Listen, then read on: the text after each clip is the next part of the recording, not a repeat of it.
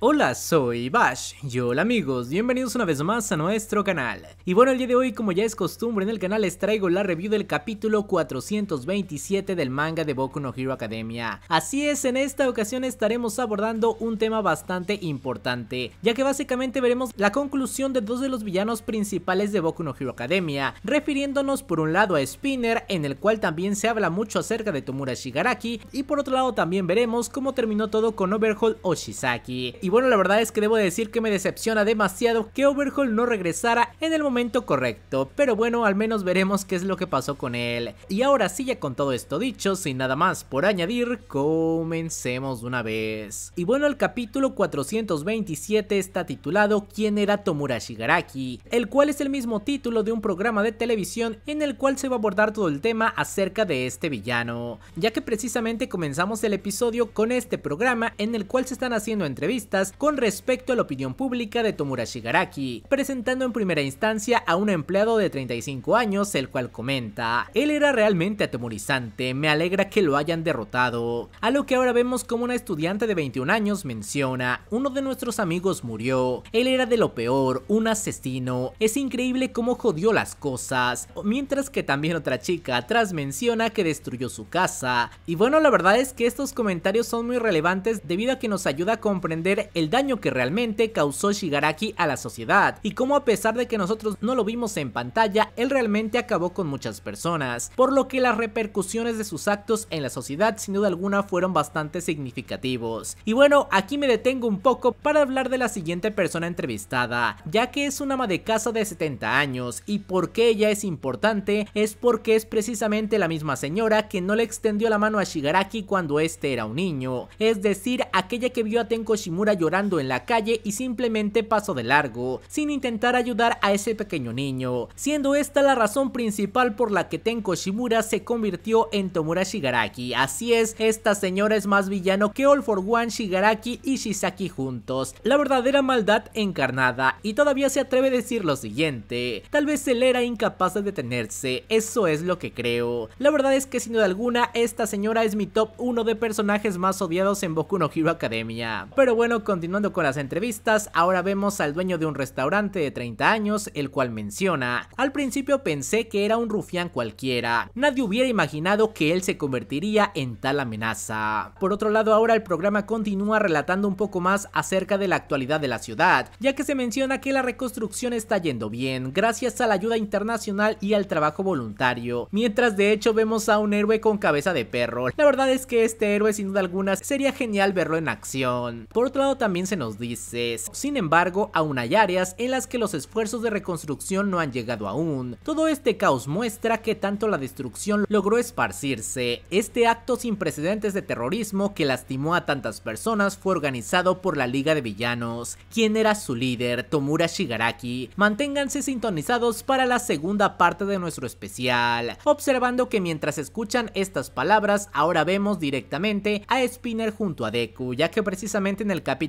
anterior, vimos que alguien había ido a visitar a Spinner y al parecer esta persona fue el mismísimo Deku. De esta manera, antes de comenzar con la charla, observamos cómo el doctor comienza a hablarnos del estado actual de Spinner, explicando cómo Spinner recibió dones adicionales como masa corporal y Scale Mile, por lo que al haber tomado todos estos dones, al parecer él comenzó a convertirse en un Nomu, ya que su cuerpo no era capaz de soportar tal carga, pero gracias a la investigación de los Nomus que estuvieron haciendo en el hospital, además del hecho de que su transformación aún no estaba muy avanzada, consiguieron detener el proceso. Y bueno, de esta manera ahora sí comenzamos la conversación entre Deku y Spinner, a lo que Spinner comienza con todo, ya que este dice, ¿por qué estás aquí, asesino? A lo que Deku bastante serio menciona que no va a negar eso, pero de cualquier forma tiene que decir las últimas palabras de Shigaraki. Ante esta frase, obviamente Spinner se pone un poco intenso, gritando, así que vas a seguir disparando un muerto, qué desagradable. De cualquier forma, a pesar de las palabras de Spinner, Deku recuerda las últimas palabras de Shigaraki, por lo que Deku menciona, sobreviviste, así que te lo voy a decir. Incluso en el amargo final, Tomura Shigaraki siguió peleando para destruir. Al escuchar esta última frase, Spinner se da cuenta de que en efecto, estas son las últimas palabras de Shigaraki, y que Deku no parece estar inventando nada. Por lo que rápidamente Spinner se extraña preguntándole a Deku, Shigaraki te pidió que me dijeras eso, ¿estás seguro? A lo que Deku Se lo confirma mencionando que dijo específicamente Spinner, mientras que Spinner parece algo sorprendido diciendo ¿Yo? ¿Qué hay de Toga y Davi? Maldición, incluso con Press. Pero Deku simplemente responde no, solo a ti. Al escuchar estas palabras Spinner se pone un poco triste diciendo Shigaraki era mi rayo de esperanza. Él me sonrió y dijo destruyamos todo. Allá en Deika me mostró un horizonte distorsionado. Él siempre fue mi persona más aterradora. Cuando la gente me oprimió por quien soy, pensé, bueno, soy un heteromorfo y me rendí. De esta forma vemos como Spinner comienza a levantarse y aumentar de tamaño, mientras dice, para, dije que dejaría de pensar así. Si pienso, terminaré lastimado. Le permitió a un tipo como yo soñar. Sentía que algo grande estaba a punto de pasar, como si realmente pudiera volverme alguien. Al ver el crecimiento de Spinner, el doctor rápidamente se alarma, diciendo que ahora tendrán que tranquilizarlo. Pero en ese momento vemos como Deku extiende la mano hacia el doctor diciendo que todo está bien, para que no calme Spinner en este momento, ya que en ese momento vemos una de las frases más conmovedoras de este episodio, debido a que vemos a Spinner gigante sujetando a Deku, mientras dice, Tomura Shigaraki era mi héroe. De esta manera, ahora el programa de Tomura Shigaraki regresa a la televisión, y vemos una intercalación entre los comentarios de la gente y los comentarios de Spinner, ya que una persona menciona, él solo quería destruir, y eso es todo lo que hay que decir, sin pensamientos, sin ideales, nada, solo estaba haciendo un berrinche, a lo que en ese momento con lágrimas en los ojos, Spinner dice, él amaba los videojuegos. Por otro lado en la televisión la conversación sigue, ya que una persona menciona, mientras la policía sigue investigando por fin desentrañamos su trágico pasado, a lo que otro chico dice, entender la causa es importante, pero no podemos dejarnos empatizar con él, si alguien se influencia por todo esto pasará una y otra vez. De esta forma, regresando con Spinner, este continuó hablando al decir, durante mis días de aislamiento jugué videojuegos sin parar y entonces descubrí que le gustaban bastante los mismos juegos que a mí. A lo que ahora otra persona en la televisión menciona, hay muchas cosas que no puedes endulzar, era un pedazo de mierda. De esta forma, una vez más, Spinner suelta una frase desgarradora, diciendo, él fue el primer amigo que tuve. Al escuchar esta frase rápidamente Deku le responde, lo escuché de decir, los villanos necesitan un héroe propio. Justo en medio del corazón de Shigaraki estaba la liga. Estoy seguro que él pensaba las mismas cosas sobre ti. Es por eso que me pidió entregarte este mensaje. De esta forma, al escuchar las palabras de Deku, Spinner empieza a recapacitar un poco acerca de todo lo que ocurrió en el pasado, ya que menciona, estuve ciego por el reflector, me dije a mí mismo que no podía detener lo que estaba pasando, y decidí que dejaría de pensar. Siempre me doy cuenta de las cosas cuando ya demasiado tarde. De esta forma, Spinner comienza a hablar con Deku una vez más, diciendo, eventualmente se olvidarán de Tomura Shigaraki, olvidarán la liga de villanos y regresarán a sonreír. Escribiré un libro sobre el símbolo del miedo llamado Tomura Shigaraki y sobre cómo la liga de villanos vivió para destruir, se lo restregaré en la cara. El pasado nunca muere, continuaré lo que Tomura Shigaraki inició. Al escuchar estas palabras, Deku simplemente se retira del cuarto, pero antes de irse se dice, deberías hacer un cómic, a lo que Spinner se molesta bastante por esta situación, pero honestamente creo que la idea de Deku es bastante buena, además de que directamente es algo que a Shigaraki le encantaría, al menos eso creo. De cualquier forma, Deku también dice, no necesitas preocuparte, yo nunca lo olvidaré, mirando bastante seriamente Spinner, y ante este rostro, Spinner comprende que en efecto Deku está hablando en serio, por lo que ahora también dice, tengo un mensaje también, dile a ese pulpo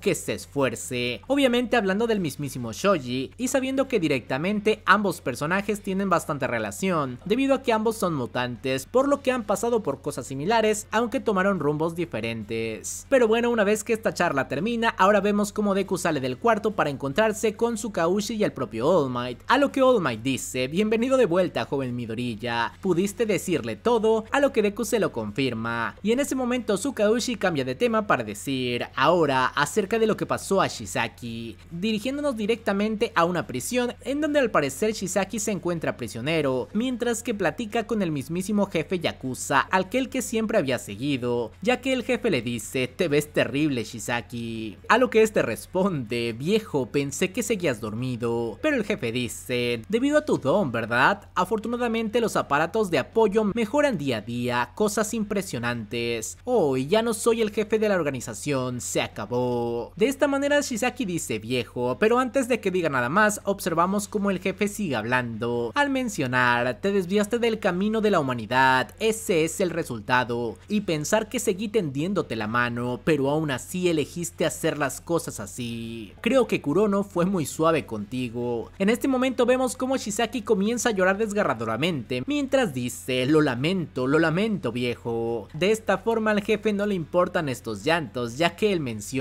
es muy tarde para eso. Deberías estar disculpándote con Eri por el resto de tu vida. Ella eventualmente se olvidará de ti, pero tú no te olvidarás de lo que hiciste. No hay necesidad de preocuparse, estaré a tu lado para regañarte hasta que muera. De esta manera así concluye la historia de Shisaki, dejándonos en claro que este se mantendrá en prisión, además de que también tiene que vivir con el arrepentimiento de lo que le hizo a Eri. Y al parecer, a pesar de que tiene que pedir perdón, indirectamente parece que no se van a volver a encontrar, sobre todo para que Eri no tenga que revivir este trauma, ya que observamos como ahora Deku menciona, se lo agradezco mucho su san y este dice, no te preocupes, eso fue mucho mejor que hacer que Eri-chan reviviera su trauma. A lo que ahora Deku pregunta algo muy interesante, ya que menciona, ¿qué podemos hacer para prevenir que estas cosas pasen? Pero obviamente su Kauchi le dice que no pueden, a menos de que Hawks de alguna manera pueda multiplicar los héroes que hay en la ciudad. A lo que Deku muy sorprendido por esto dice, ¿qué? Hawks tiene el poder de hacer eso, pero su Kauchi menciona que esto simplemente es una broma, además de que ahora le mencionan que tiene que alegrarse, ya que los de primer año comienzan la escuela el día de hoy, por lo que no puede mostrarse con una cara larga, a lo que Deku responde que el curso de héroes no tiene tantas clases extracurriculares, por lo que muy probablemente no va a ver a los de primero muy seguido. Aunque parece que esto no era del todo cierto, ya que una vez que llegan a la UA observamos un escenario bastante interesante, y es que en efecto los de primero sí están teniendo contacto con los de segundo, ya que observamos como un grupo de chicas de primero completamente fanáticas y locas están persiguiendo tanto a Shoto como a Bakugo, mientras gritan, Todoroki Senpai, Dynamite Senpai, son tan geniales, soy una fanática, puedo tener tu número por favor, déjame tomarte una selfie. Ante tal persecución observamos como Shoto dice, ¿qué está pasando? A lo que Bakugo también menciona, deberían ser expulsadas, las de primer año están dementes, mientras que observamos la reacción de Deku totalmente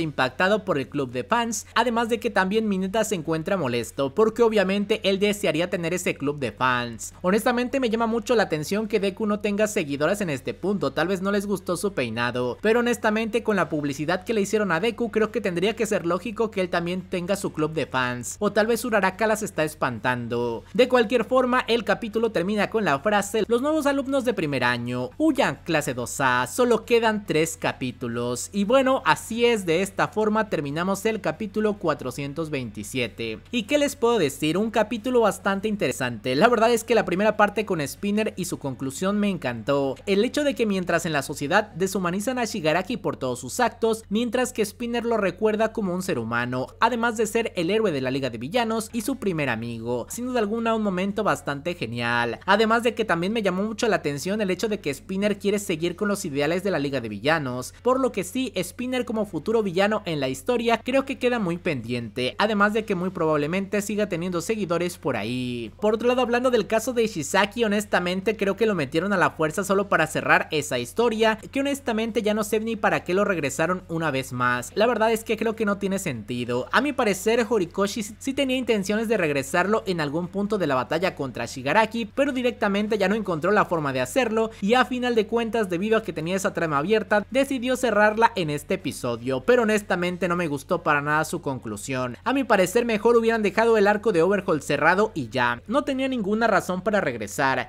incluso a pesar de que esté arrepentido por lo que le hizo a Eri, a final de cuentas ni siquiera la va a ver o se va a disculpar, por lo que como dije, esta es una aparición sin sentido, que Horikoshi hizo simplemente para cerrar la trama que abrió innecesariamente. Y bueno, por último a mi parecer, esta situación del club de fans de primer año nos hace ver que tal vez en el próximo capítulo nos estaremos enfocando en los creo que tiene mucho sentido que veamos un especial de San Valentín o algo por el estilo, o alguna de las chicas que van a hacer ship con Bakugo, Shoto y Deku hacer algunas apariciones. Yo creo que sí se viene el capítulo romántico, aunque bueno tendremos que esperar dos semanas para ver eso. Pero bueno, de cualquier manera, ahora sí terminamos con el video, me encantaría que me dejen sus opiniones y teorías en los comentarios y antes de despedirme quiero agradecer a todos los miembros del canal que siempre nos están apoyando. Y muchas gracias a Gustavo, El Dusabe, Gonzalo Salazar, Maxi, Sebastián Betancourt de Beyonder Lauti y Ayrton Peralta. Y ahora sí, sin nada más por añadir, adiós.